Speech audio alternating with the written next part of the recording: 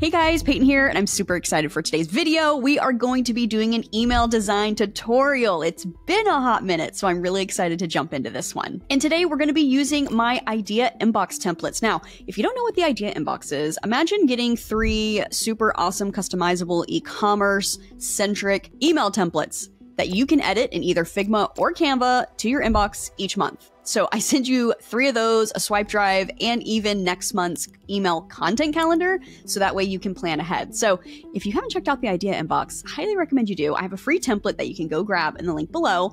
But today I'm going to show you our February templates, take one of them and use an actual brand's assets to plug it in to show you exactly how easy it's going to be to use. So without further ado, let's go ahead and just jump right into it. All right, here we have our three templates for February. And the one that I am going to focus on today is going to be this one here. So it's a bit of a really like nice lifestyle image up at the top. We have our CTA nice and high. And then we kind of go into a bit of a review rating, a you know, uh, very kind of focused feature here with a final CTA. Nothing crazy about this template. Super simplified, easy to the point. We can put someone forward onto the site right away, but if they want to get a review or a special feature, we have that section here. So let's go ahead. I'm going to clone this over into this board here. And the brand that I'm going to focus on, I stumbled upon this one in Milled, and it's a beverage brand. But what's interesting is I feel like their templates right now are very simplistic in a lot of ways. You know, we're not doing anything too wild, too crazy. I mean, it's very kind of uh, heavy on the text um, and features and maybe a little bit of graphic design here and there. But overall, you know, could definitely be elevated. So when looking at their website, I definitely see where they have a lot of design features, little accent pieces that we could pull into our template as well. So let's go ahead and pick one to just feature. And uh, maybe the green is kind of standing out to me. So I think in this particular design, I am wanting to fill in a singular feature. I mean, we could have maybe the catalog here of items, but I want to kind of drill into one singular feature here at the bottom. So on their website, I'm going to go ahead and start grabbing a few things that we can design with. Um, so when I am on the website, I'm kind of inspecting and looking around. Of course, if this is your own brand, uh, you have you know way more flexibility to kind of grab the pieces that you want because you have the assets. Here, I am just going to see if I can grab some of these so that way we could leverage them. So all I'm doing here is inspecting the code to see if I can get some of these elements here. So I see here we have our downloadable. So I'm just going to copy this and then I'll end up pulling that over into Figma. Um, we definitely want to pull in our beverage here. And we do have some lifestyle imagery. Um, hopefully I can find this on a different view of the site. But if not, not a big deal. And I know we have some kind of um, kind of brand colors here. So I'm going to go ahead and kind of color pick this yellow. So I have it saved. And let's also get this logo. So let's go and start popping in a few things. So what's great about these templates, even if you're not a Figma pro, um, it really just takes a few goes at it. And, and honestly, you'll, you'll be in the mix of things. It's really nothing too crazy. Um, especially with these templates, it's very plug and play, have your asset. We can adjust it, make a few changes. Going to drop these in. And then I'm going to change the background to this brand color while we're in here. So you see we have this image here. I think we could probably pop in this lifestyle image instead. So while we have it kind of broken out like this, I'm going to go ahead and delete this one. You can see that I even have a gradient there from my old version. So looking with our layers here, I'm going to move this down and then move this gradient up here. We're actually, I think in this top section, you know, I was going to go with the yellow, but let's go ahead and focus in on this color here. And we're just going to be adjusting this so that the gradient really kind of blends in. And of course, if this is like too advanced, you're like, what is even happening? You could even just stick with a solid color. You don't have to have it kind of blend off into a next section or anything. We're going to adjust that to zero. So we have kind of a little bit of a gradient here to make sure it's really kind of flowing. And then we do have this section here. I think what we'll do is go ahead and pull this all the way here so that our next section kind of just ends automatically. And let's just want to center up and make this really kind of aligned there. Okay, love that. Now, of course, we could pull in the actual um, fonts as well. Just as a quick look, let's see what we're working with on their website. So I use an extension called Font Ninja. So we're going to go ahead and pull that in. And it looks like we're messing with Roc Grotesk Assistant. Let's see if we have that in here. I have a feeling we won't have it. No. Rock. Okay. So we don't have that particular font, and to save us time on hunting it down, imagine you have this font and we could swap it. I think for now we'll keep it as it is, but let's go ahead and pull in some copy and edit. So they kind of have a few phrases in here I think we could pull in, like it's bimble time. We'll pull that in there. And then kind of just pull in this copy. This is where we could really be customized. I think with this being the sparkling honey drink, we could even adjust some of the copy to fit that one more specifically but just so we can get the vibe of how quickly we can get these edited and ready to go as emails, I just want to showcase that. And then for colors, I'm just going to match this up with that just so it's a bit more on the right color spectrum there. All right, and then we have this bottom section here. I'm going to lock this so that way I can move this whole section up here. And I'm tempted here too. I mean, we have this like great blue color. We could technically fade it into this bottom section. So let's experiment with this a bit. So we're just going to adjust.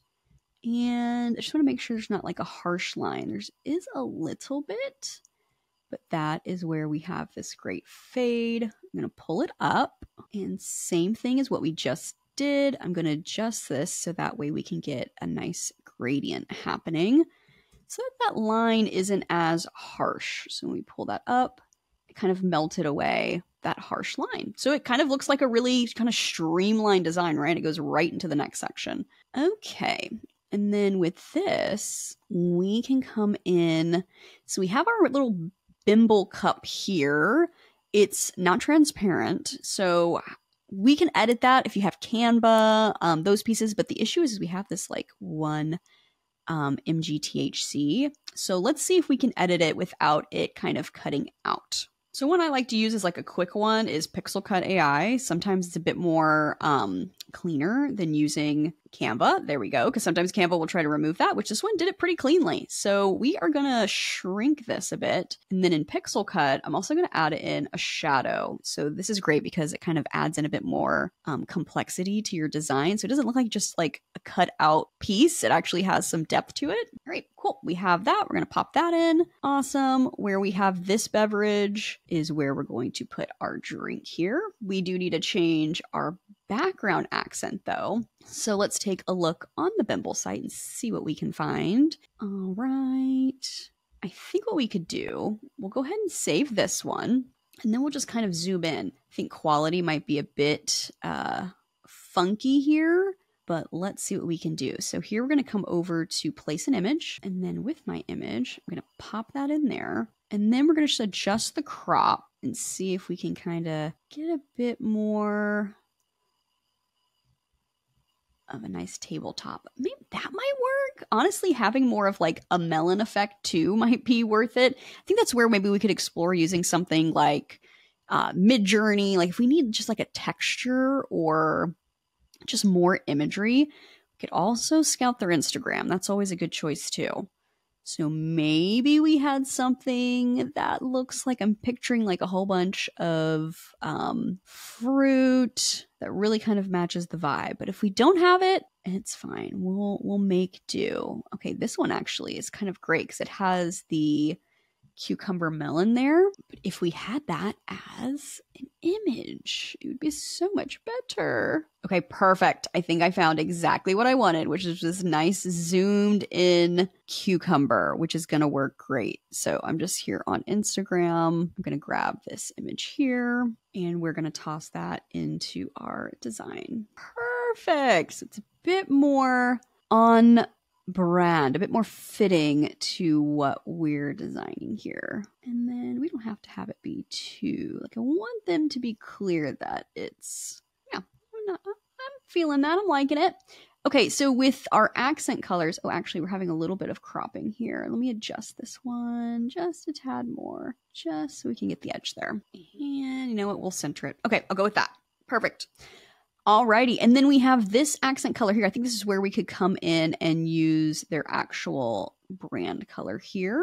And then where is our honeycomb? I know we downloaded that. Let's go ahead and pop that in. So I think this is where we can really add some um, dimension here. So we could pop that in to this section. So that way we have call like almost like a sprinkling to your design. So that way it adds a little bit more um, texture, more dimension. Pull this up. Sorry, this is like so hard to read, but we haven't edited the font quite yet. So I'm going to mark this to be, I want it to be this color.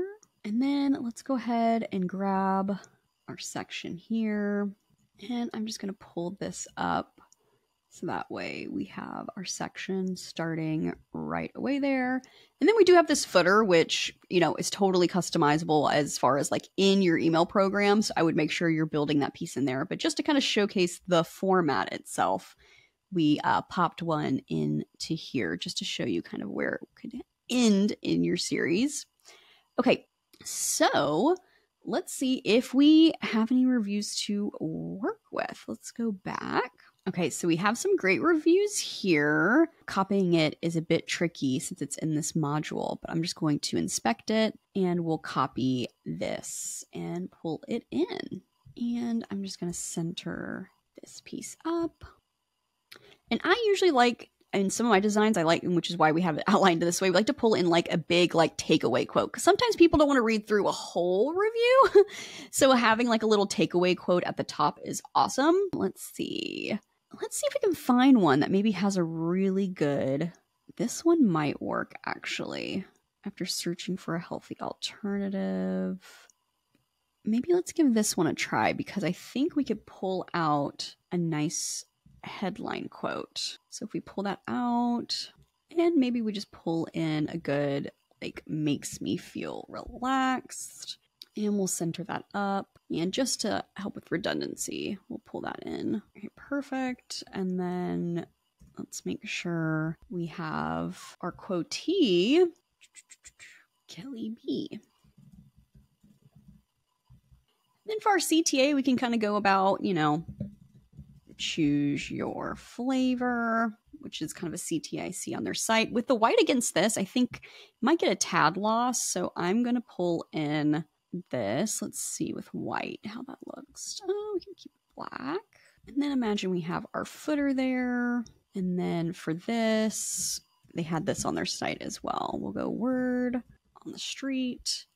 And then for layering, I think I'm going to pull this behind. And then let's see, maybe kind of have one more here but a little bit larger. Okay, perfect. And I'm just going to adjust the selection colors on this one. It's just a small difference, but still. Okay, actually, I love that quote because we do have our logo there, so kind of saying Bimble twice might be a bit too much. Let's pop this up.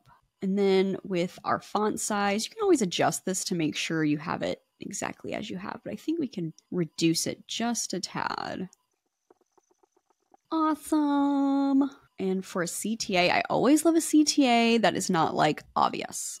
so instead of saying uh, shop now, we're going to do unwind without worries and pull that in. Okay, guys, we have our real quick email updated here. So we have kind of what they've been sending out as like a reference. So just featuring kind of the static images. They have a review here too with a little bee. Ooh, we could add a little bee. That could be cute too. Uh, but just kind of having our main CTA area here, a little bit of intro copy with a nice lifestyle image blends into the next section where we can do a review on a specific flavor. And that's our email. So, guys, I hope that was helpful. Just running through a quick little design update. If you're not in the idea inbox, I highly recommend you join us. That way, you're in for next month's releases. And if you want access to all the prior months, I have that in there too. So, if you want to sign up and say, yeah, give me all of the past month's releases, which at this point, oh my gosh, we have over a year, a year of releases inside the idea inbox. You can get access to a year's worth of three templates per month. So, that's a lot of templates. so, guys, I hope you enjoyed this video, and I will see you in the next one. Bye.